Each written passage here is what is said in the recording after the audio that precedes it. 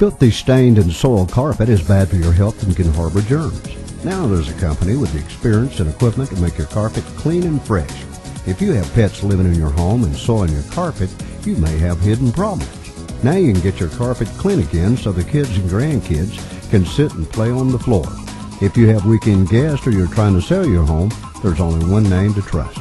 That name is Shaw's Carpet Cleaning. You can call them at 229-382-7067. Quality service is our stock and trade. Check these before and after pictures. At Shaw's, all work is done to satisfaction. No job too big or small.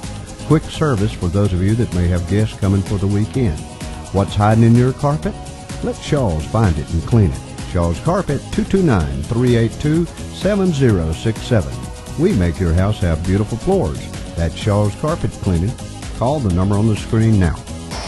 I'm Gary Shaw with Shaw's Carpet Cleaning.